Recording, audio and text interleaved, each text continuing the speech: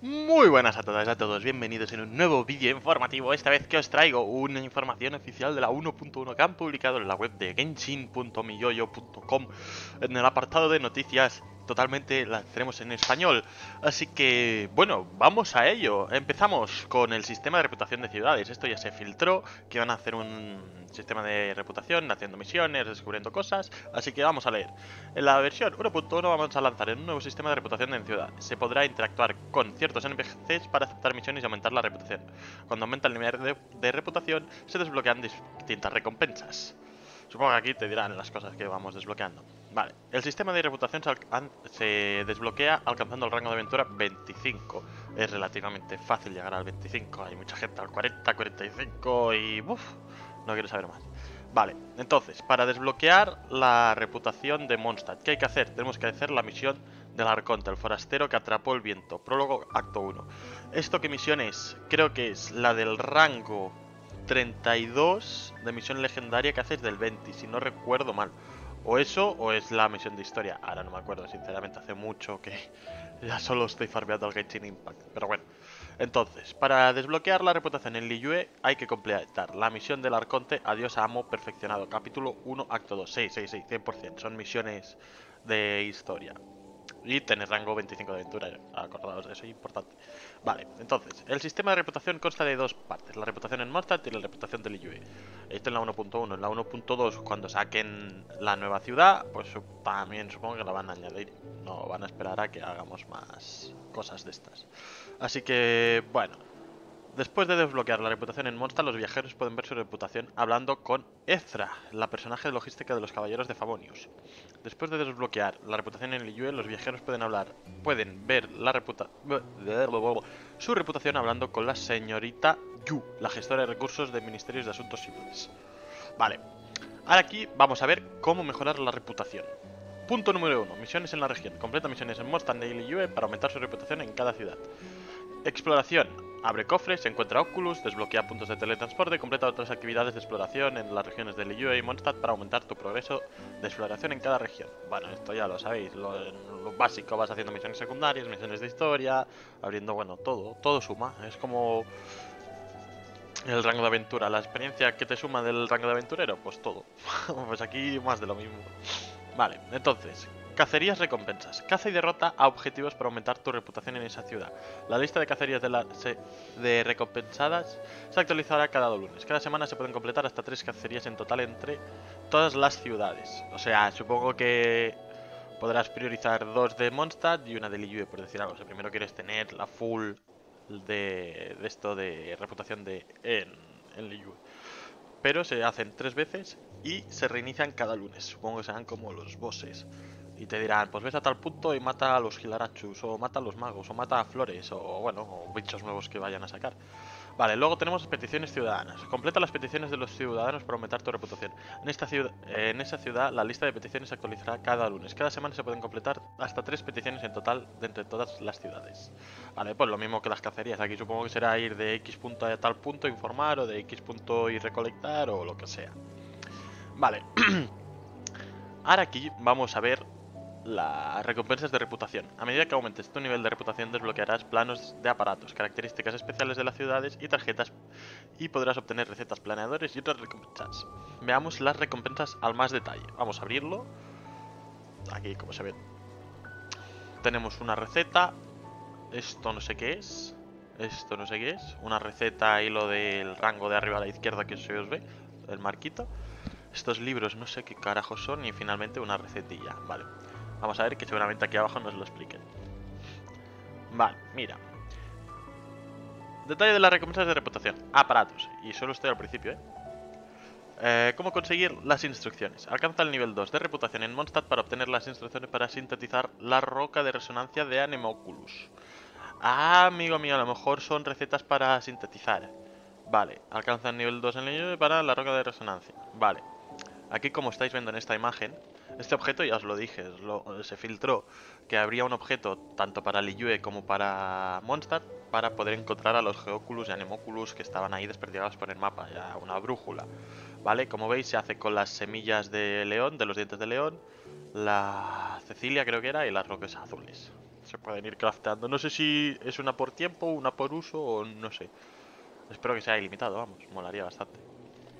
Vale, aquí nos enseñan cómo utilizarla. Después de usar la roca de resonancia en un área azul, aparecerá en tu mapa para buscar Oculus en el área azul. Vamos a abrirla aquí más grande. Vale, entonces supongo que en esta área te mostrarán dónde están... Bueno, saldrán como cuando te pares por el mapa te sale el plup plup. Vale, está guay. Vale. Dos. Cuando el Oculus perdido aparezca en tu minimapa, desaparecerá del área azul. Esto no tiene mucho sentido. Cuando el Oculus perdido aparezca en tu minimapa, desaparecerá del área azul. O sea, supongo que en el minimapa lo veremos aquí, pero aquí no lo veremos, porque ya lo estamos viendo en el minimapa. Supongo que serán para zonas de más lejos. Vale, no puedes usar otra roca de resonancia si ya tienes activada o si después de localizar a los Oculus hay otro cerca. Un poco raro, ¿no? Vale, vamos a lo importante. Después de usar la roca de resonancia, o sea, la brújula esta, comenzará, vale, un cooldown de 300 segundos. Solo puedes usar rocas de resonancia de Anemoculus en Mondstadt y de resonancia de Geoculus en Liyue. Esto tiene sentido porque en Liyue no hay nada de Anemoculus y viceversa. En Geoculus en Mondstadt tampoco hay nada. Vale, luego tenemos otro objeto que ya se filtró, la botella de atrapaviento. Que esto se consigue alcanzando nivel 3 de reputación en Mondstadt para obtener el plano de la forja de la botella de atrapamiento. Vale, entonces lo de las recompensas estas. Esto que teníamos aquí es la botella de atrapamiento. Mola, mola. Guay, guay. Me mola, me mola, me mola. Vale. ¿Cómo utilizarla? Después de equipar la botella de atrapamiento, esta, esta atrapará anemoculus, hay anemogranos que se llaman, automáticamente una vez te acerques a ellos y puedes atrapar hasta 5. Vale, son esas cosillas que estaban, que se ven por el mapa que son así, que rodean el, que son de aire, que rodean a un mini rodeito hacen. Vale, al usarlo liberarás una corriente de aire en donde estés, tras cierto tiempo la corriente... Vale, la misma función, en vez de usar Anemo, pues con eso pues te lo puedes llevar donde quieras y lo puedes usar donde quieras. Está bastante guay. Vale. la resina concentrada. Esto es uno de los objetos que en teoría se supone que van a, que van a mejorar la resina. Muchas entre comillas. Lo que van a hacer es que si alguna vez em, no llegas a o sea, no puedes jugar ese día que no pierdas las 120, bueno, ahora son 160 resinas. No las pierdas, que las puedas guardar y otro día pues gastar 160 más las 160 que te hayas guardado, ¿sabes? Entonces, pues eso. Vale, a ver, entonces. Bueno, vamos a ver cómo se usa. Vale, se usa en el nivel 3 de reputación en Liyue, se necesita el nivel 3 de reputación en Liyue. Muy, muy sencillito, supongo. Y en la mesa de fabricación consume un núcleo de cristal, eh, por, vale, esto irá de 40 en 40 resinas y 100 demoras. Vale, el núcleo de cristal, que son? Estos son los que te recoges de las mariposas. Cuando recoges mariposas por el mapa, tanto en Liyue como en Mondstadt, te sale eso, eso se consigue así. Vale. Puedes usar, tener tres... Ah, solo puedes tener tres a la vez. O sea, 40, 40, 40, 80, 120, 120 de resina puedes guardar. Ya no me acabo de gustar, pero bueno. No pasa nada. Eh, vamos. Siguiente, bolsita nutritiva, versión número 30. Esto no tengo ni idea de qué es. Pero bueno, la bolsita nutritiva, esto también es un objeto que se filtró, que en teoría era que podías juntar dos tipos de alimentos y tenerlo como un bufo en total, creo. A ver. Vale, alcanza nivel 5 de reputación para obtenerla. El plan... Vale, nos la equipamos. Para consumir la comida rápidamente sin necesidad de abrir el inventario, puedes usarla para almacenar un plato para regenerar vida y otro para revivir. O sea, puedes usar revivir y... Y... Curarte al mismo tiempo, supongo, ¿no? Vale, a ver aquí qué pasa. No se entiende muy bien. Cuando un miembro de tu equipo haya sido derrotado, el plato para regenerar vida cambiará automáticamente al plato de revivir. Tampoco lo veo. Bueno, supongo que con el uso puede estar más cheto. Vale. Aquí tenemos la olla Growmet de Adeptus. Esta tiene muy buena pinta porque es... Eso en plan, nos ha pasado de joder, ahora tengo que cocinar un plato de revivir o un plato de comida, un plato de lo que sea y no habéis podido, ¿no? Porque tenéis que ir hasta la otra punta donde os acordáis de que ahí hay una, un fuego a tierra para cocinar. Pues ahora han sacado también el Gourmet de Adeptus. ¿Qué es el Gourmet de Adeptus? Pues es lo que estáis viendo, una cocina portable. y tiene un cooldown de 300 segundos, no tiene mucho misterio. Luego, otro de los objetos que se filtró, el teleport portátil, eso de que lo pones en cualquier sitio del mapa y te puedes teletransportar ahí siempre que quieras. Para tenerlo se necesita tener el nivel 6 de reputación en Mondstadt. ¿Y cómo se usa? Pues en el mapa aparecerá un marcador de teletransportador portátil. Seleccionalo para usar el teletransportador. Solo puede existir un teletransportador a la vez. Vale. Después de crear el teletransportador comenzará un tiempo, eh, un cooldown de 60 segundos. Al crear un nuevo se le eliminará el anterior. Vale, entonces recordar que podemos poner un sitio de teleport que durará 7 días, como aquí se ve. Y que se puede ir cambiando en donde tú quieras. Está bien. Vale. Luego van a sacar también, esto no sé si os lo dije, creo que sí, un buscador de anemos y brújula de buscatesoros geo. ¿Esto qué hace? Pues no me acuerdo, pero necesitamos tener el... sinceramente, ante todo. Necesitas tener el nivel 6 de reputación en Mondstadt y el nivel 6 en Liyue. ¿Vale? Al usarla aparecerá una, pista, una pista que te llevará al cofre más cercano. ¡Ey! Pues, a mí me viene puta madre, aún no tengo las 800 eh, de Liyue. Vale, entonces pues bueno, una corrientita así como veis y podremos llegar. Tiene un cooldown de 5 segundos. Y si encontramos al cofre después de... Antes de 30 segundos, después de usarla, eh, después de 5 segundos encontramos el cofre, eh, bueno, esto, que tardará, tendrá un cooldown de 30 segundos más, no tiene mucho misterio. Y lo mismo, habrá la busca, eh, la brújula para Liyue y la brújula para Mondstadt no las podéis ir cambiando. O sea, no podéis usar lo que decía la brújula de Geo en Mondstadt y viceversa. Vale, luego vamos a tener funciones de la ciudad. Esto no tengo ni idea de lo que es, vamos a leerlo.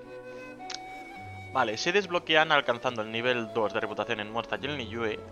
¿Y cómo funciona? Después de desbloquear la, eh, la función, habla con Wanger, el herrero de Mondstadt, o con el maestro Zhang, el herrero de Liyue. Ellos te dirán dónde encontrar reservas ricas en materiales y en tu mapa aparecerán los marcadores correspondientes. En las reservas ricas de materiales podrás encontrar pedazos de cristal y a partir del rango 30 de aventura también podrás encontrar pedazos de cristal mágico. Uh, este creo que es un objeto nuevo. Esto está muy bien porque ahora solo teníamos a la Wang que te marcaba los pedazos de cristal pero con esto ya no hará falta ni mapa interactivo ni pollas. Vamos a hablar con él y nos lo encuentra. ¡Eh! De putísima madre, tío. Encantadísimo estoy.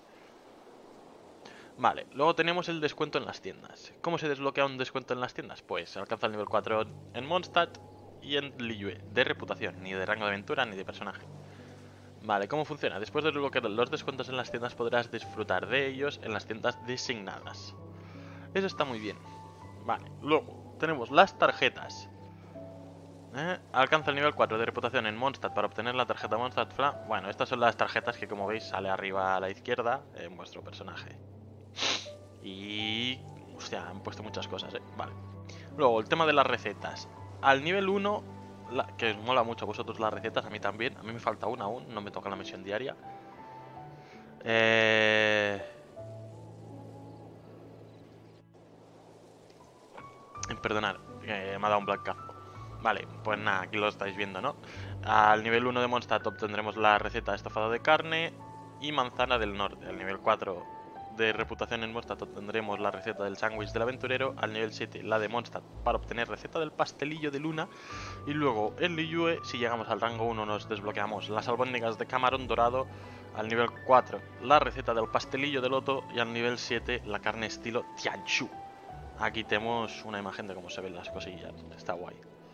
Bueno, y esto es otra cosa de los planeadores. Sabéis que si habéis si tanto jugáis en la Play como jugabais en PC o en móvil, eh, antes de la versión 1.1 nos regalaban unas alas al llegar creo que al nivel 7 de aventurero o al nivel 5 por los preregistros y todo eso. Las alas, bueno, es una skin simplemente. Esta es la de Mondstadt y esta es la de Liyue, cuando lleguemos al nivel 8 de reputación. Vale, luego hay un sistema de progreso de exploración. Tú alejas el zoom del mapa. ¿eh? Aleja el zoom en el mapa para ver el progreso de exploración en cada área. Abre cofres, encuentra bla bla bla bla bla bla bla bla Lo que aquí no lo acabo de... Ah, vale, vale, vale, vale, mirar. ¿Veis? Aquí ya os dicen, pues en las montañas del Storm Terror tenéis, os falta un 5% por explorar. Esto os lo comenté, iría por zonas. Que pues si os faltan cofres o alguna cosa por explorar, pues se verá así de putísima madre, de verdad, ¿eh? Hace mucha falta. Vale. Luego dice, eso es todo por hoy. Próximamente les traeremos detalles acerca del archivo y la galería de personajes. Permanezcan atentos viajeros. Vale, y es que el sistema de archivos, o sea, como estamos viendo tanto lo del equipamiento y esto, ha cambiado bastante, ¿vale? Entonces, vamos a, a mirarlo, ya que estamos, ya vamos a hacer un vídeo tostón, perdonad las molestias, ya llevo 15 minutos aquí hablando como un desgraciado. Pero bueno, vamos. El sistema de archivo. Haz clic en el menú archivo y en el menú de Paimon para acceder al sistema de archivos, ¿vale? El sistema de archivos se divide en cinco categorías, tutoriales, lugares, equipamiento, materiales y libros. Como aquí veis, es muy bonito, ¿eh? Como se ve, la verdad. En fin, vamos a ello. Archivo de equipamiento se divide en archivo de armas y archivo de artefactos. Bueno, esto es como lo tenemos, y una manera de filtrar y clasificar las armas según su calidad. Si tienen o no ciertas condiciones, al filtrarlas, etc., aparecerá el... ¿eh? Vale, perdonad. Para clasificar las armas según su calidad. Si no, si tienen o no ciertas condiciones al filtrar las etc. Vale. Al hacer clic en icono de historia para comprobar las historias de las armas, en el archivo de artefactos... Ah, vale. Y luego se pueden hacer... Vale, vale, vale, vale. Qué mal estoy hoy. Vale, en resumen, que puedes mirar, aquí puedes leer, si seleccionas la parte de historias, puedes ver la historia de la arma. No tiene mucho misterio. Sinceramente, una chorrada que personalmente a mí ni me va ni me viene. Lo mismo también con los artefactos, por lo que veo. Vale, el tema de los materiales. Se dividen, se dividen en productos de Teibat, comida y pociones, trofeos y utensilios. En el archivo de materiales se incluyen las especialidades de cada territorio, ingredientes culinarios, comida, pociones, materiales de mejora, aparatos, etc. Aparatos supongo que son los, los objetos estos que se dejan usar, ¿no? Sí, más o menos sí, Vale. Luego, van a añadir un apartado de lugares. En lugares se recoge información sobre los paisajes de Mondstadt y Liyue. En los lugares se incluyen los miradores de los territorios visitados. Después de visitar un mirador, este aparecerá registrado en ese aparato. Yo solo espero que cuando hagan esto tengan en cuenta la gente que ya lo ha hecho. O sea, si has visitado este sitio, bueno, no creo, porque mira, te sale F Viewpoint. Entonces tendremos que volver a recorrer todos los apartados estos. Vale, aquí te explican un poco de historia. Vale, luego aquí tenemos, podrás leer el apartado de libros, se podrán leer. Además de algunos libros que tengas en el inventario, también serán recogidos en el archivo de libros. No permanecerán en el inventario. Recuerda acceder al archivo de libros para poder leerlos. Vale, supongo que aquí ya te lo van clasificando según volúmenes, ya no es tan a lo pocho. Yo creo que prefería la otra manera porque los tenía todos seguidos. No me he leído ni un libro, eso desde luego. Pero bueno. Así que nada, vamos a ello. Luego el apartado de tutoriales, que hasta ahora lo teníamos que nos daban protogemas, que nos salía y pues has conseguido bonus elemental o un nuevo picho de monstruo o no sé qué. Y te van diciendo las cosas, pues ahora lo tendremos en un archivo de tutoriales. Esto está muy bien por si alguna vez se te olvida algún counter de elemental, pues lo miramos aquí en un momento y ya está, un bestiario, vamos, lo que hay aquí. Luego la galería de personajes también la han cambiado en la versión 1.1 y lo que van a hacer es que se puedan filtrar de una mejor manera. Como veis, aquí filtran pues que sea crío y que tenga arco. Entonces solo hay ese personaje que es los de los que tenéis, que sea de crío y de hielo y con arco. Entonces, pues para hacer un equipo ahí mejor y no estar buscando eso para los que tenéis muchos personajes que tenéis suerte, pues os va bien. Yo que tengo 8, 10 contados, pues como que nada. En fin. La y aquí dicen al final de todo, la actualización de la galería de personajes podría sufrir un leve retraso. Los personajes que no fueron actualizados todavía los... ¿Eh? que no fueron actualizados todavía lo serán en la próxima versión, ¿vale? Continuaremos publicando información sobre las actualizaciones de la versión 1.1. Manténgase atentos a nuestras futuras publicaciones. ¡Uf! En fin, pues me ha dejado con bastante IP, ¿eh? la verdad. Me mola bastante todo el tema de los objetos. Esto me ha dado un poco de bajona, pero todo lo demás promete, la verdad. Tiene muy buena pinta. Así que nada más, esto es información 100% confirmada ya hemos visto que varios leaks, varias filtraciones tenían el 100% de la razón, no han cambiado nada y esto es lo que nos va a llegar el 11 de noviembre. Eh, perdonar por hacer un vídeo tan extenso, pero bueno, valía la pena. Y perdonar algún retraso que te madre mía. Me pongo, cuando me pongo tan excitado, me pongo nervioso y la lío mucho. En fin, muchas gracias por verme y nos seguimos viendo en el siguiente capítulo o en el siguiente vídeo. Chao, chao, gentesita. Un placer teneros por aquí como siempre. Adiós.